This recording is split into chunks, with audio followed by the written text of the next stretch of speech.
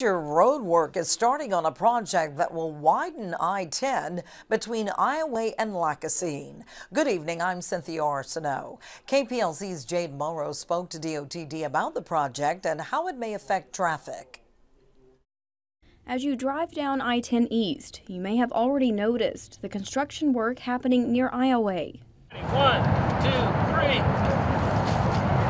Tuesday, officials broke ground on the project, a $75.7 million expansion that will widen I 10 and replace bridges over US 165 three lanes in each direction uh, with shoulders on this footprint and it's going to connect all the way to, from Iowa, Iowa to Lacassine.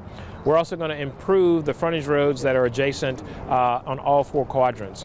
The overall goal is to increase traffic capacity along what DOTD Secretary Shawn Wilson calls a major economic corridor.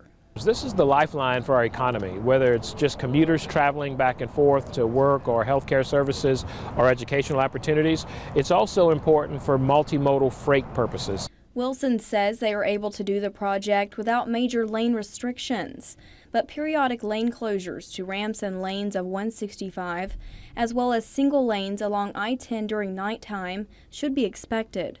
In this case, it's going to prove us uh, to be much smarter, much more efficient, and hopefully safer during the construction zone as well. Jade Moreau, 7 News. And construction is expected to be completed in the fall of 2024.